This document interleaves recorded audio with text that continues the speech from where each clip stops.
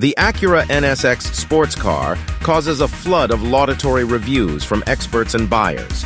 It is called the best car in the world in terms of handling, which strikingly combines high technical data and stylistic sophistication.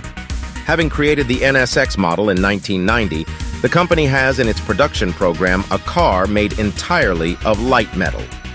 The result of these efforts, the empty weight of the machine does not exceed 1,370 kilograms, at first glance, not so light, but for a car stuffed to the limit with all sorts of technical delights, quite a bit.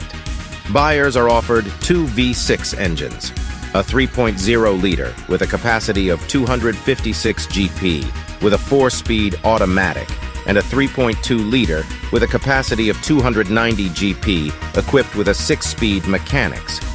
Acceleration from a standstill to 100 kilometers h takes only 5-9 seconds,